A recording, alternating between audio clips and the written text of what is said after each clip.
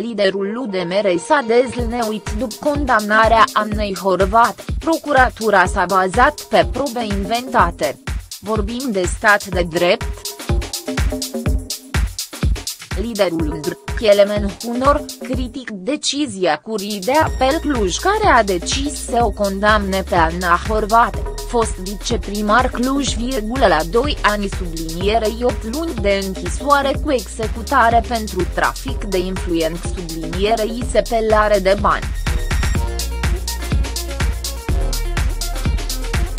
Procuratura s-a bazat pe probe inventate în cazul Annei Horvat, iar judecătoria nu a procedat corect având în vedere ce în repetate ori nu a respectat procedurile.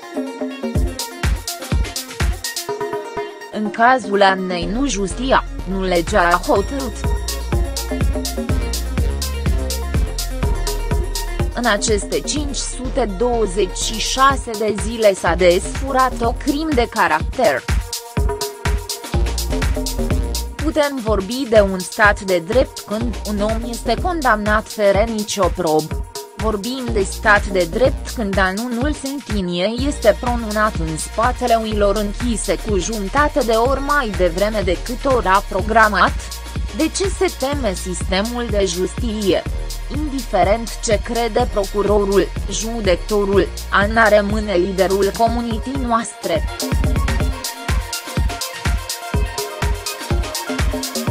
Colegii, maghiarii din Cluj mi-apocare mâna teni la ce spune ea. De la ea nu poate lua nimeni hașernicia i corectitudinea. Credem în nevinovia ei, credem ce cei de la Curtea Suprem vor decide diferit. Anxa, nu te lăsa, noi nu te lăsăm singur. Este mesajul liderului UDMR, postat pe Facebook.